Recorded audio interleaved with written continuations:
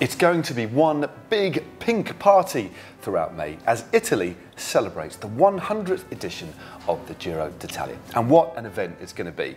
And what a humdinger of a race. And we think it's going to be definitely a fitting start to the Grand Tour season. Yeah, it certainly will be. And that big party will all kick off on Friday, the 5th of May, with the first of three road stages on the island of Sardinia. They'll then have the first of three rest days before heading to the island of Sicily for a further two stages. And it's not till stage six where they finally reach the mainland, at which point they'll gradually head northwards up towards the Dolomites and ultimately have a final stage time trial into the city of Milan. Right, in total, the riders will be covering 3,572.2 kilometres over the 21 stages, which averages out at 170 kilometres per stage, which is pretty punchy, but a far cry from that first edition of the Giro, where the eight stages averaged 306 kilometres.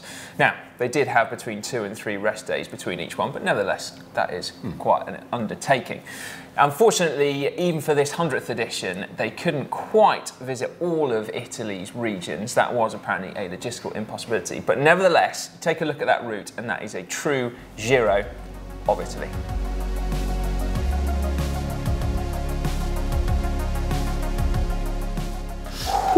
Well, that was tasty. It was rather nice, I have to say. Uh, okay, so the 21 stages this year are spread across a total of 24 days. There are two individual time trials, six stages that are earmarked for the sprinters, uh, five stages in the high mountains, and then eight stages in what they deem the medium mountains, plus those aforementioned three rest days. Now, at the start, those three stages on Sardinia, there's something for almost everyone. Uh, stages one and three look set to be for the sprinters, while stage two is a much hillier affair and does give the attackers an early opportunity. Right, well, and this first mountain finish comes as soon as stage four. Mount Etna is the last climb of the day, and although it's 20 kilometres long, it is only an average gradient of 6%, so it's not going to be the toughest test the riders face. However, back in 2011, which was the last time this climb was used, it was plenty explosive enough for Alberto Contador, who put over a minute, did you get that? I did, yeah. Over a minute into his rivals on that stage. Well, Alberto Contador did put a fair bit of time into me on that climb as well, so I can testify it's pretty A minute on the lower slopes. isn't it? Yeah, and a true was. test of form then, isn't Yeah, it? it It really certainly sorted was. the men from the boys. Oh, this is not a possible. You are not professional. You don't need training more. I was a professional 10 years ago.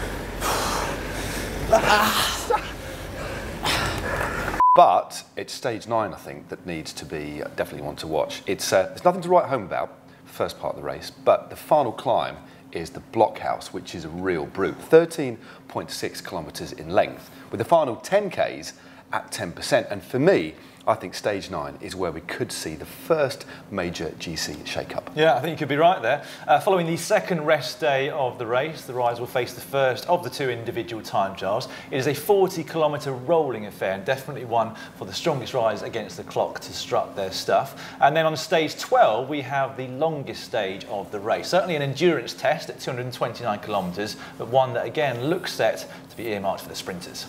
As ever, though, it is going to be the final week, which is going to be a true test, particularly when it comes to climbing. Stage 16 comes immediately after that final rest day, and although there is no mountaintop finish, it has been deemed the Queen stage. It certainly has the prize of the Cima Coppi, which is the highest point the Giro is going to reach, and that is because it goes over the Stelvio Pass.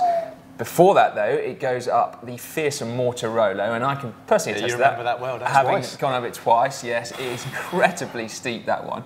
But then it goes up the Stelvio again, this time for the first time ever, going up from the Swiss side, which is called the Umbrail Pass, or something along those lines. Thanks. And that as well goes up to two and a half thousand metres before a descent into the finish.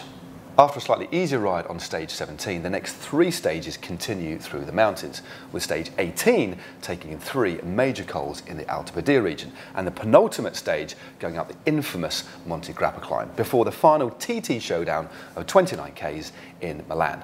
Now, on paper, that looks like a brutal route, let alone on the tarmac, Yeah. and I must admit, I just can't wait for it to start. No, it's going to be I a can't cracker. wait for it to start. be- I can't wait for it to Sante. start. Salute. Salute, sorry. Salute. Is it Sante? I don't know, it's all of the above. No idea. The Giro. Yeah, doesn't matter. Amore.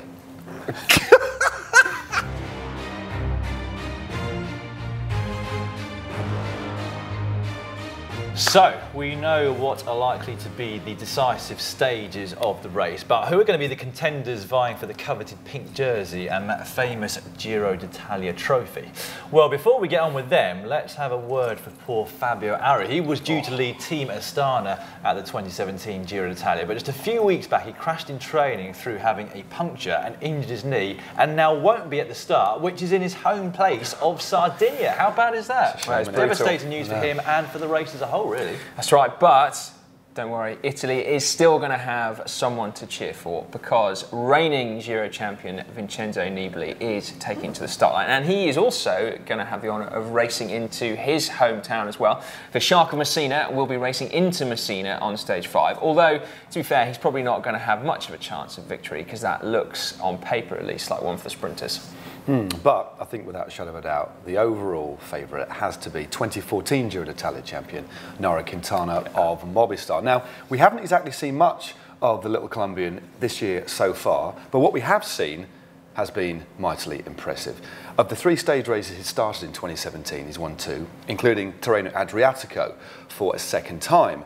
And the steep climbs of Italy really do suit him, so he has to be the out and out favourite for this race. And of course, he'd be very fresh as well. Yeah, there's no doubt about that. Uh, the next man on our list almost won the Giro d'Italia last year. Most of you will remember that agonising crash for Steven Kruijswijk whilst in the pink jersey on stage 19 last year. Firstly, the pink jersey slipped out of his hands, and then both remaining places on the podium as well. He eventually finished fourth overall.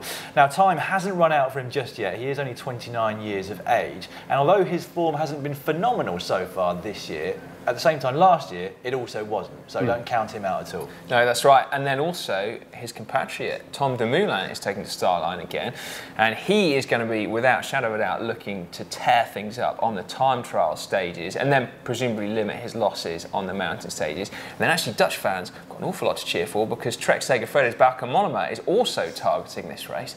So that's pretty exciting. Maybe there should be like a Dutch corner Yeah, on move the it across the border from France into Italy. Yeah, move over Alpe d'Huez. Yeah, It's all about Dutch fans, Stelvio. get your act together. We might see you out there on Dutch corner in Italy. Yeah, the contenders just keep coming and coming. This it's a stellar field, isn't it? I mean, French fans have got FDJ's Thibaut Pinot, who Oh. is on fire at the moment.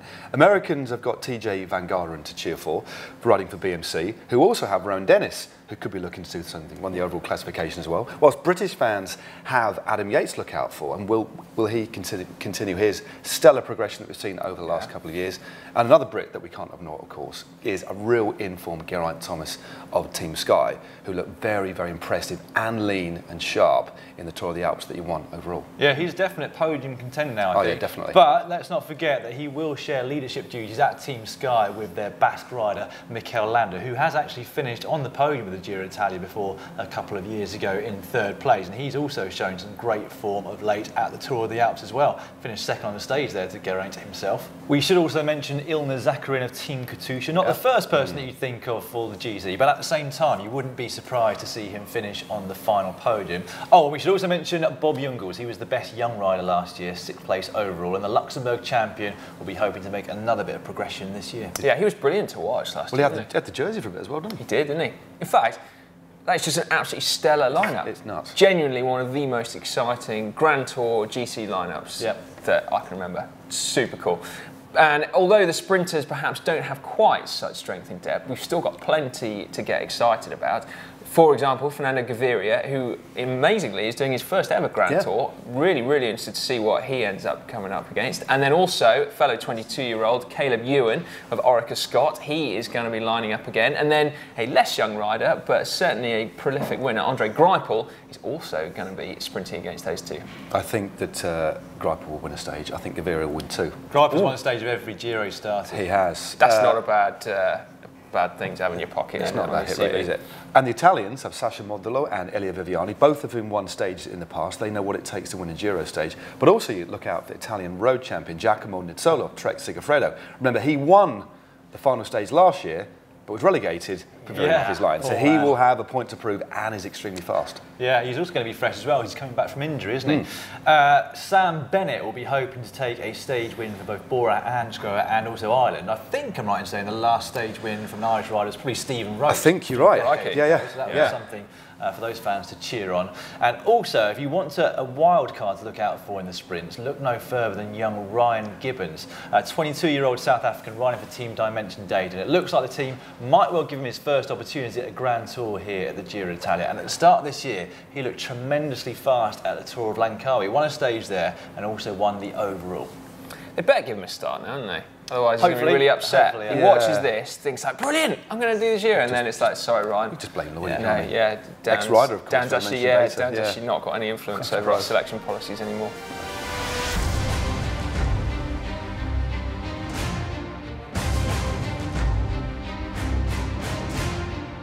Right then, time for the infamous GCN predictions of Oh. not um, settling for just putting the curse on three riders. I think we're going to predict a podium each, so sorry to around about nine riders, depending on who we all go for. Uh, first up, Si. Mm. Winner?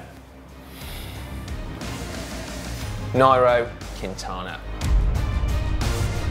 Ah, the obvious choice. Yeah. Sorry, guys, but you know, It's fair enough, though. Yeah. Uh, he is good, isn't he? he is probably second only to Froome, the best stage race rider in the Yeah, world, I and therefore you kind of got to predict him. I think his odds are very short for this race as well. Matt?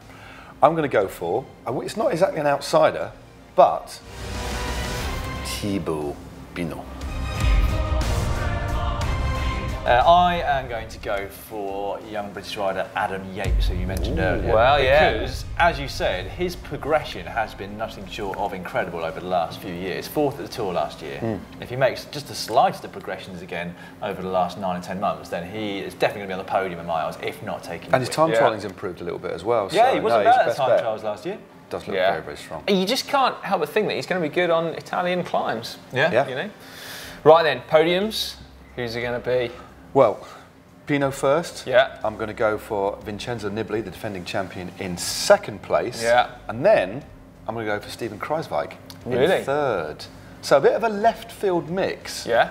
But it's such an unpredictable race, hence, there I'm going for. All right, I'm going to go for really boring, really mainstream, and just keeping my fingers crossed that it's going to work out this time. So Quintana for the win, Mikel Landa, I think, for second, and then Vincenzo Nibali for third. Hmm. So I'm keeping my fingers firmly crossed. Well, I am going for third spot with Mikel Landa. Oh, Runner up will be Tom Dumoulin, and the winner will be Nairo Quintana.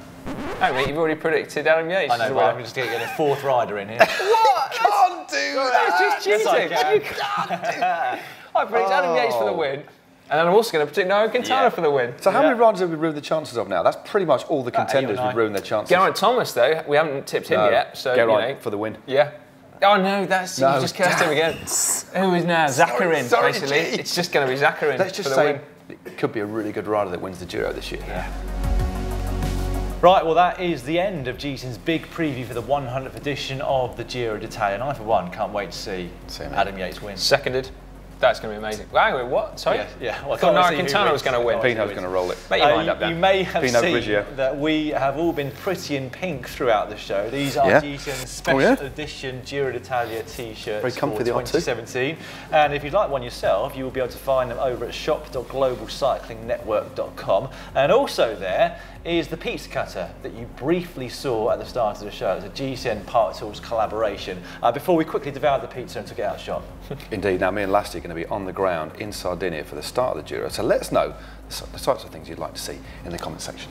That's right. So all there is left for me to say is make sure that you have subscribed to GCN. It's very simple. Just click on the globe, and then if you want more content, well, we mentioned that amazing Matt and Contador video, so that one is just down there. And then to see the fearsome Mortirolo and find out whether you go faster on compact or standard gearing, click just down there.